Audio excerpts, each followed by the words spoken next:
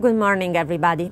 My name is Laura Soucek, and I'm founder and chief executive officer of Peptomyc, a new company that aims at drugging the undruggable, treating cancer with anti-MYC peptides. Let me explain. MYC is a central function in cancer cell survival, but not normal cells. That means that if we can attack MYC, we can selectively kill cancer cells without side effects in normal tissues. Despite this undisputable therapeutic opportunity, no MYC inhibitor has reached the clinic yet. And this is where our products will make a difference. We have developed peptides, mini proteins, that can penetrate cells, reach their nuclei, and attack MYC, causing cancer cell death.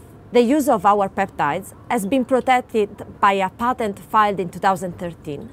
Then, in 2014, we created Peptomyc with the aim of developing our products through preclinical phase and phase 1-2 clinical trials. At that point, we aim at licensing out to a big pharma. Importantly, our products can be used to treat all types of cancers, but we will start with glioblastoma, lung cancer, and breast cancer. Our team is a multidisciplinary one. Besides experts in peptide design and production, it includes eminent oncologists around the world.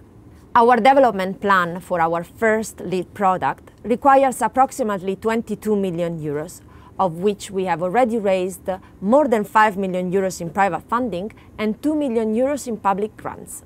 That means that we still need approximately 15 million euros. If you want to learn more, please get in touch with us. Remember, Peptomyc.